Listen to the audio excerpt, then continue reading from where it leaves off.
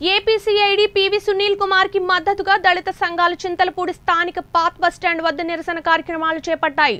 సునీల్ కుమార్ పై అక్రమంగా కేసులు పెట్టి ఆయన చేస్తున్న దళిత ఉద్యమాలను నీరుగార్చేందుకు కొన్ని దుష్టశక్తులు ప్రయత్నిస్తున్నాయని ఇప్పటికైనా వారి ప్రయత్నానికి మానుకోలేకపోతే తగిన మూల్యం చెల్లించుకోవాల్సి వస్తుందని దళిత సంఘాలు హెచ్చరించాయి. జై హో doctor BR Ambedkar. PV Sunil Kumar గారి నాయకత్వం. పివి సునీల్ కుమార్ గారి నాయకత్వం. ఆంధ్రప్రదేశ్ డీజీ పివి సునీల్ కుమార్ గారి నాయకత్వం.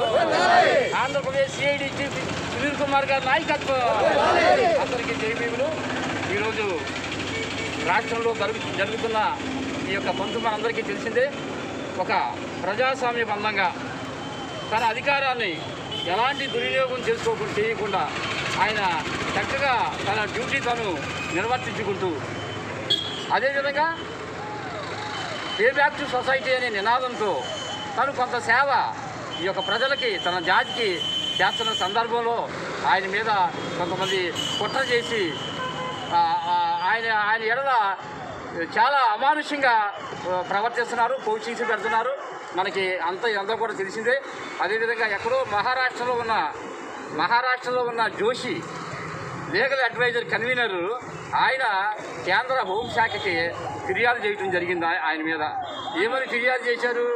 ఈయన ఎస్సీగా ఉద్యోగం సంపాదించి సంపాదించి క్రైస్తవ మతాన్ని ప్రమోట్ చేస్తున్నాడు హిందూ మతాన్ని విమర్శిస్తున్నాడు అనే దాని మీద ఉంది.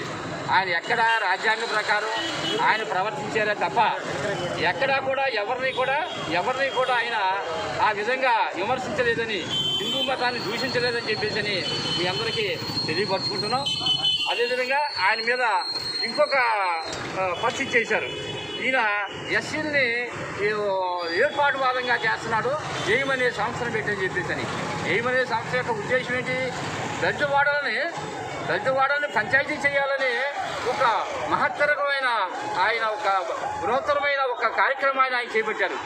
అంబేద్కర్ ఆనాడు మరి ఆ రౌండ్ టేబుల్ సమావేశంలో సమావేశంలో ఆయన మనకి సపరేట్ సెటిల్మెంట్స్ అనే దాన్ని తెచ్చుకుంటే మనకు తెలుసు గాంధీ గారు దాన్ని కోనా ఉడంబడికతో దాన్ని నిర్వీర్యం చేయటం. దాన్ని మళ్ళీ పునరుద్ధరించి ప్రతి దళితవాడ పంచాయతీగా అయితే మన పరిపాలన మనం చేసుకోవచ్చు మన నిధులు మనకు రావచ్చు అనే ఉద్దేశంతో ఆయన ఇచ్చేస్తున్నారు. దళితవాడ పంచాయతీ అంటే మాలవాడ పంచాయతీ అవుతుంది మాదిగవాడ పంచాయతీ అవుతుంది రెల్లివాడ పంచాయతీ అవుతుంది అందరికీ అది వచ్చే